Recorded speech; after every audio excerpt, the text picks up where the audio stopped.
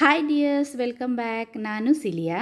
ಇವತ್ತಿನ ವಿಡಿಯೋದಲ್ಲಿ ನಾನು ನಿಮಗೆ ತೋರಿಸ್ತಾ ಇದ್ದೀನಿ, ನಾವೆಲ್ಲರೂ ದಿನನಿತ್ಯ ಉಪಯೋಗಿಸುವಂತಹ ಕತ್ತಿ, ಕತ್ತರಿ, ಅದೇ ರೀತಿ ಮಿಕ್ಸಿ ಜಾರ್ ಇವುಗಳೆಲ್ಲ ನಮ್ಮ ಮನೆಯಲ್ಲೇ ಇದ್ದುಕೊಂಡು ಯಾವ ರೀತಿ ಹರಿತಗೊಳಿಸುವುದು ಅಂತ.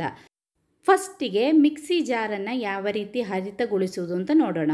ನೋಡಿ, ಇದು ನಾವೆಲ್ಲ ಯೂಸ್ ಮಾಡಿ ಬಿಸಾಕುವಂತಹ ಮೊಟ್ಟೆದು ಶೆಲ್. ಇವಾಗ ಮೊಟ್ಟೆದು ಸಿಪ್ಪೆ ಬರ್ತದಲ್ಲ, ಅದು. ನಾವಿವಾಗ ಒಳಗಡೆ ಆಮ್ಲೆಟ್ ಎಲ್ಲ ಮಾಡಿ ಬಿಸಾಕ್ತೀವಲ್ಲ, ಇನ್ನು ಅದನ್ನು ಬಿಸಾಕಬೇಡಿ. ಈ ಥರ ಚೆನ್ನಾಗಿ ಕ್ಲೀನ್ ಮಾಡಿ, ಒಂದು ಯೂಸ್ ಮಾಡಿದ ತಕ್ಷಣ ಚೆನ್ನಾಗಿ ನೀರಲ್ಲಿ ಅದನ್ನು ಕ್ಲೀನ್ ಮಾಡಿ ಒಣಗಿಸಿ ಇಟ್ಕೊಳ್ಳಿ. ಈ ಥರ ಒಣಗಿಸಿ ಇಟ್ಕೊಂಡು ಎರಡು ವಾರಕ್ಕೆ ಒಂದು ಸರ್ತಿ ಅಥವಾ ತಿಂಗಳಿಗೆ ಒಂದು ಸರ್ತಿ ಅಥವಾ ಅಥವಾ ವಾರಕ್ಕೊಂದು ಸರ್ತಿ ಸಹ ನಮಗೆ ಇದನ್ನು ಮಾಡಬಹುದು.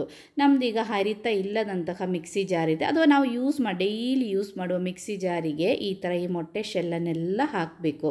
ಹಾಕಿ, ನೋಡಿ ಸ್ವಲ್ಪ ಜಾಸ್ತಿನೇ ಹಾಕಬೇಕು. ಸ್ವಲ್ಪ ಸ್ವಲ್ಪ ಹಾಕಿದರೆ ಆಗೋದಿಲ್ಲ. ಸ್ವಲ್ಪ ಜಾಸ್ತಿ ಮೊಟ್ಟೆದು ಶೆಲ್ ಈ ಥರ ಸಿಪ್ಪೆನೆಲ್ಲ ಹಾಕಿ, ನೋಡಿ ಈ ಥರ ನಾನು ಎಷ್ಟು ಸ್ವಲ್ಪ ಜಾಸ್ತಿನೇ ಹಾಕಿದ್ದೀನಿ. ಈ ಥರ ಜಾಸ್ತಿ ಹಾಕಿ ಮಿಕ್ಸಿ ಜಾರನ್ನು ಕವರ್ ಮಾಡಿ ನಾವು ಇದನ್ನು ಒಳ್ಳೆ ಪುಡಿ ಮಾಡಬೇಕು.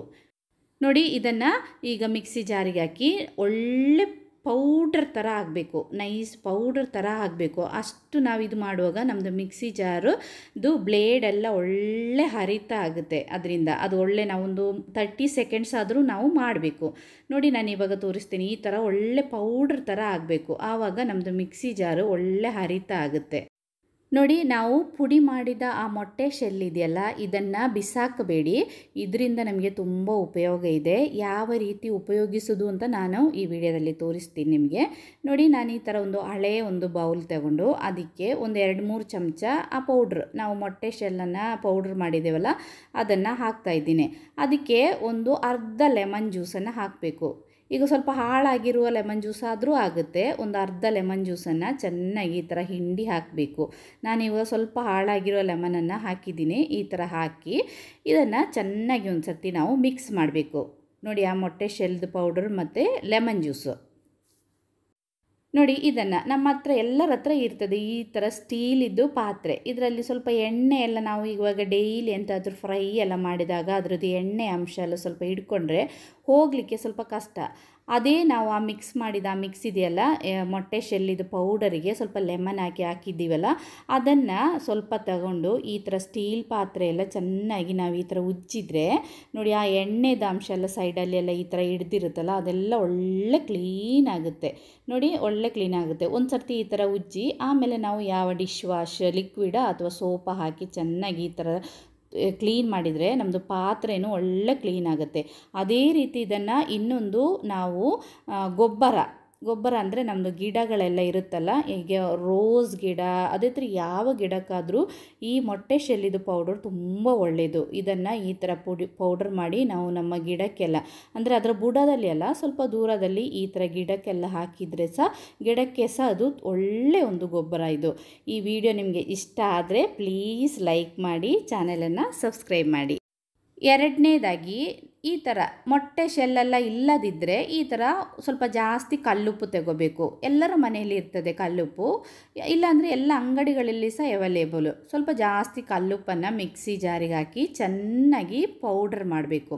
ಅದೇ ನಾವು ಮೊಟ್ಟೆ ಶೆಲ್ಲನ್ನೆಲ್ಲ ಪೌಡ್ರ್ ಮಾಡಿದ್ದೇವಲ್ಲ ಅದೇ ರೀತಿ ನಾವು ಕಲ್ಲುಪ್ಪನ್ನು ಮಿಕ್ಸಿ ಜಾರಿಗೆ ಹಾಕಿ ಚೆನ್ನಾಗಿ ಪುಡಿ ಮಾಡಿದರೆ ಸಹ ಮಿಕ್ಸಿ ಜಾರು ಒಳ್ಳೆ ಅರಿತಾಗುತ್ತೆ ನೋಡಿ ನೆಕ್ಸ್ಟ್ ಟಿಪ್ ಅಂದರೆ ನಾವೆಲ್ಲ ದಿನನಿತ್ಯ ಬಳಸುವಂತಹ ಬಳಸುವಂತಹ ಕತ್ತಿ ಕತ್ತರಿ ಇವುಗಳನ್ನೆಲ್ಲ ಸುಲಭವಾಗಿ ಯಾವ ರೀತಿ ಹರಿತಗೊಳಿಸುವುದು ಅಂತ.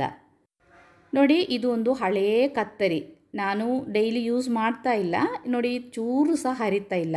ಇದನ್ನು ಒಳ್ಳೆ ಹರಿತ ಮಾಡಿ ನಾನು ತೋರಿಸ್ತೀನಿ ನಿಮಗೆ. ತುಂಬ ಒಳ್ಳೆ ಟಿಪ್ ಇದು. ನೋಡಿ, ಈ ಥರ ಎಲ್ಲರ ಮನೆಯಲ್ಲಿ ಇರ್ತದೆ ಗಾಜಿನ ಲೋಟ. ನಾವು ಚಹಾ ಎಲ್ಲ ಕುಡಿಯುವಂತಹ ಗಾಜಿನ ಲೋಟ ಇದೆಯಲ್ಲ, ಈ ಥರ ಒಂದು ಹಳೆಯ ಲೋಟ ನೀವು ಇಟ್ಕೊಳ್ಳಿ. ಡೈಲಿ ಯೂಸ್ ಆಗುವಂತಹ ಟಿಪ್ ಇದು. ಈ ಥರ ಕತ್ತರಿನ ತಗೊಂಡು ನಮ್ಮದು ಲೋಟ ಇದೆಯಲ್ಲ, ಲೋಟದಲ್ಲಿ ಈ ಥರ ನಾವು ಕಟ್ ಮಾಡ್ತೀವಲ್ಲ, ಅದೇ ಥರ ಈ ಥರ ಮಾಡಬೇಕು.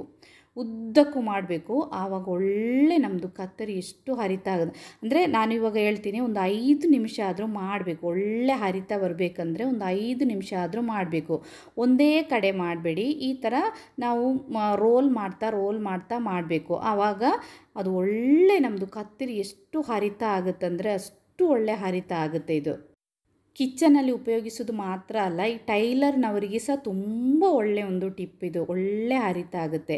ನೋಡಿ, ಇನ್ನು ನಾನು ನಿಮಗೆ ತೋರಿಸ್ತೀನಿ. ನೋಡಿ, ಎಷ್ಟು ಚೆನ್ನಾಗಿ ಕಟ್ ಆಗ್ತಾ ಇದೆ ನೋಡಿ. ಅಂದರೆ ಒಂದು ಐದು ನಿಮಿಷ ಆದರೂ ನಾವು ಮಾಡಬೇಕು. ಒಂದು, ಎರಡು ನಿಮಿಷ ಎಲ್ಲ ಮಾಡಿ ಕಟ್ ಆಗಲಿಲ್ಲ ಅಂತ ಹೇಳ್ಬೇಡಿ. ಒಂದು ಐದು ನಿಮಿಷ ಆದರೂ ಈ ಥರ ಮಾಡಬೇಕು. ಆವಾಗ ಒಳ್ಳೆ ಹರಿತ ಆಗುತ್ತೆ. ನೋಡಿ, ಈ ಟಿಪ್ಪನ್ನು ಎಲ್ಲರೂ ಒಂದು ಸರ್ತಿ ಟ್ರೈ ಮಾಡಿ ನೋಡಿ.